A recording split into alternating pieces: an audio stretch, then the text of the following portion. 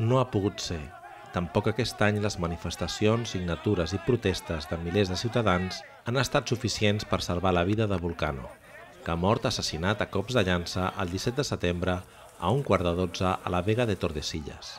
Les protestes han arribat d'arreu i han estat més nombroses que mai. A més de la massiva manifestació celebrada dissabte a Madrid, un grup de 200 defensors dels animals ha acudit a la localitat val·lisoletana per intentar ocupar el recorregut del bou. La Guàrdia Civil els ha barrat el pas amb un dispositiu especial, encara que això no ha impedit que hagin estat increpats i fins i tot apedregats pels llancers.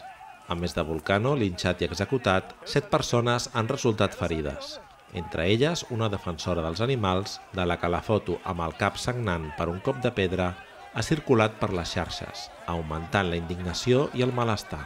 El periodista Pedro Armestre ha hagut de ser intervingut per a una cornada a la cuixa. Ja a la tarda, diferents ciutats d'Espanya han estat escenari de concentracions simultànies en memòria de Volcano. Barcelona, Bilbao, Sevilla, Gijón, Alacant... Centenars de persones s'han sumat a la repulsa per la bàrbara celebració convocades per la Plataforma per la Dignitat Animal. La convocatoria de hoy era para protestar por el torneo del Toro de la Vega que ha tenido lugar esta mañana, para mostrar nuestro rechazo sobre todo y bueno, para rendir homenaje a Vulcano, que ha sido el toro lanceado esta mañana.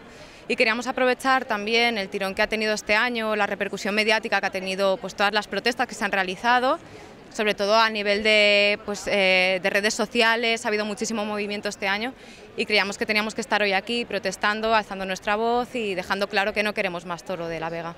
Nosotros hemos visto este año mucha más eh, implicación por parte de todo el mundo, incluso hemos realizado una campaña a través de redes sociales que se llama Me cambio por el toro de la Vega.